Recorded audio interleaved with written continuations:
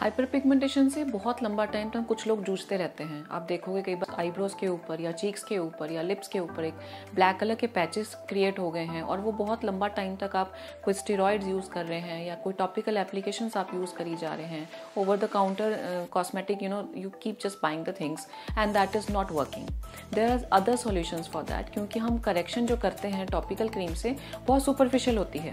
अब हमें बात करनी है डीपर करेक्शन की जो कि that will land up to permanent results आपको वो जो परमानेंट रिज़ल्ट देती है. In this video we are talking about mesotherapy mesotherapy का जो एक क्राइटेरिया रहता है, इसमें हम लोग स्किन की पंचरिंग करते हैं. और उस टाइम पे हम बहुत सारे lot of vitamin enzymes antioxidants और बहुत सारे अदर सीरम जो कि ज़रूरत के हिसाब से रहते हैं, क्या, किस स्किन में क्या नीड रहती है या क्या एक कंसर्न रहता है, वो हम लोग स्किन के अंदर इंजेक्ट करते हैं। जो इंजेक्ट करते हैं that is around up to like point eight M से लेके दो एम तक हम चले जाते हैं। But that gives a very good effect pigment को एकदम से ब्रेक करने में हेल्प करता है ये।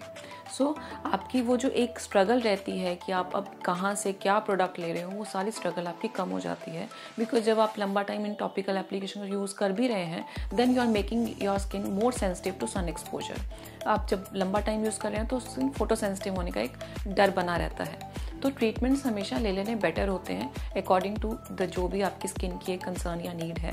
इसमें मिजोथेरेपी हम बाकी इंडिकेशंस में भी करते हैं। कई बार हम ग्लो के लिए भी करते हैं स्किन को लिफ्ट करने के लिए भी करते हैं। As if in this case we are doing it for hyperpigmentation आप देखोगे स्किन के ऊपर एक प्रॉपर मलाजमा का पैटर्न तैयार हो रहा है। यानी कि बायोलेट्रल पैचेज हैं। चीक्स के ऊपर भी हैं आईब्रोज के ऊपर भी हैं। लिप्स के ऊपर एक प्रॉपर यू नो डिस्कलरेशन आई हुई है। तो उसको ब्रेक करने के लिए वी आर डूइंग दिस अब ये कितने सेशंस में जाता है? रिजल्ट्स परमानेंट रहेंगे कि नहीं? डेफिनेटली जो आपके रिजल्ट्स होते हैं दे आर परमानेंट अब आपकी स्किन की पोस्ट केयर पे भी डिपेंड करता है। ट्रीटमेंट लेने के बाद आप कितना वेल उसको प्रोटेक्ट करके रखते हो? रेगुलर आप एसपीएफ यूज़ करते हैं या नहीं करते हैं?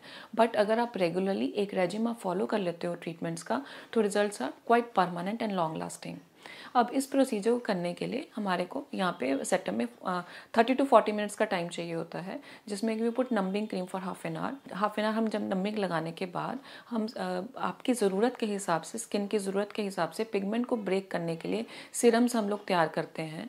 वो सीरम्स हम पंचर करते हैं धीरे धीरे स्किन के ऊपर इंजेक्ट करते चले जाते हैं और पूरा फेस इस तरीके से हम कवर करते हैं। जो इसमें पोस्ट के रहती है, आपको seven to ten days makeup बिल्कुल भी अप्लाई नहीं करना होता, या कोई भी हार्श प्रोडक्ट्स आपको यूज़ नहीं करने होते. एंड पोस्ट ट्रीटमेंट आपको कोई भी रेटिनॉल या कोई भी किसी तरीके का ट्रेटिनॉल का कोई भी प्रोडक्ट इस तरीके से यूज़ नहीं करना होता ताकि वो आपकी स्किन की रिकवरी को बेटर हेल्प कर सके.